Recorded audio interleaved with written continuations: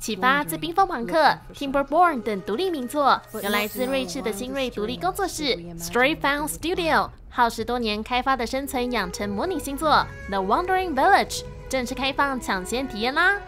我们要扮演因为毒孢子被迫离开家园旅行，带领着一群生还者遇见了巨型远古生物翁布，无处可归的我们要利用翁布背上丰富的生态资源，建立村庄并重振族群。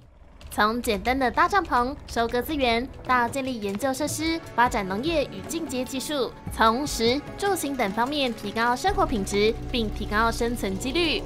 不过，既然是借人家背上大搞民族复兴，就算不收房租，偶尔帮忙照顾一下人家也不过分吧？我们在建村的过程中，也要留意翁布的动向和健康状况。有时候，翁布会走到极端的气候地带，影响村里的作物生长，或是经过有毒孢子的区域，感染大片植物和作物。要是不及时处理的话，可是有机会导致全面灭村的哦。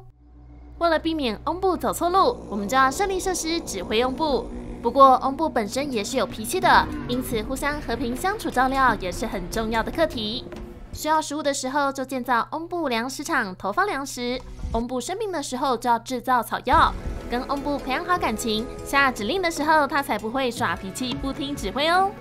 是寄生还是共生，全在你的一念之间。No Wandering Village 邀请你加入建村大业，体验在巨大生物背上的建村新生活。